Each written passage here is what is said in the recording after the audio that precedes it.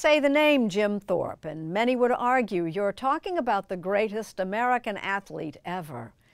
But there's one place in America where the name Jim Thorpe is synonymous with home. Here's Mo Rocca. Nestled in the foothills of the Pocono Mountains lies a charming borough, once nicknamed the Switzerland of America. But locals call it something else now Jim Thorpe, Pennsylvania. You couldn't miss the name if you tried. There's a Jim Thorpe Neighborhood Bank. There's a Jim Thorpe Market. There's a Jim Thorpe Borough. And we're standing in front of a field for which high school? Jim Thorpe Area High School. And the name of the team is? The Jim Thorpe Olympians. Mayor Michael Sofranko is a lifelong Thorper. In 1970, when we'd go somewhere and they'd say, Where are you from? And I'd say, Jim Thorpe. They'd say, I don't want your name, I want to know where you live. and now, what it has taken on is when I go somewhere and they say, Where are you from? And I say, Jim Thorpe. They say, Oh my God, I love that town. It's about the town more so than the person. Yes. And in case you're still wondering, yes, the town is named after Jim Thorpe the man, who became famous worldwide after the 1912 Olympics in Stockholm, Sweden. Well, being crowned the uh, greatest athlete of the world by the King of Sweden, I think, is one of my one of my great moments in my life. To call Jim Thorpe the greatest athlete in American history is not a stretch because no athlete before or since has done what he did.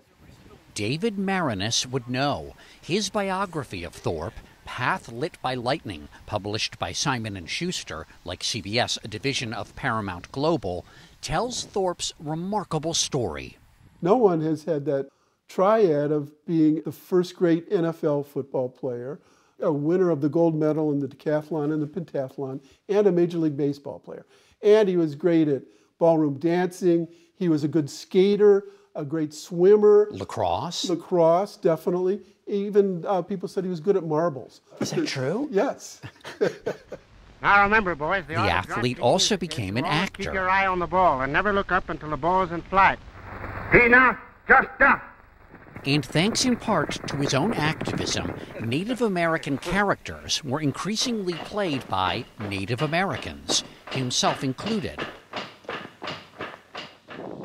Prague, Oklahoma was originally Indian territory when Thorpe was born here in 1887, brought up on the Sac and Fox Reservation.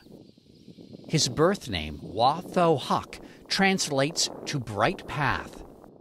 If your last name is Thorpe, do you have to be good at sports? You do not. None of his descendants could never fill his shoes.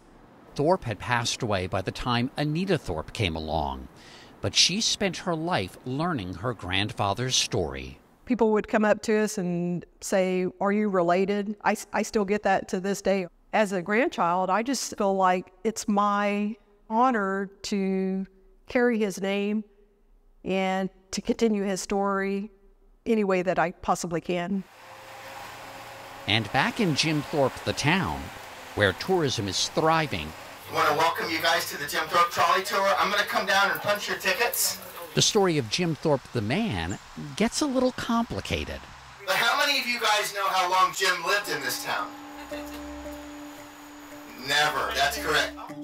After Jim Thorpe died in 1953, most of his family wanted him buried in Oklahoma. But his widow had other ideas, and she struck a deal. She gave her late husband's body to a down on its luck region of the Poconos, and the resort town of Jim Thorpe, Pennsylvania was born. If you weren't mayor, what would you think of that? Obviously, I would want to dig in and find out, well, why did that happen? That's got to be a Mobituary, right? right. I mean, that's just, yeah. For the full story of America's greatest athlete and how he ended up buried in a town he never lived in, listen to Mobituaries wherever you get your podcasts.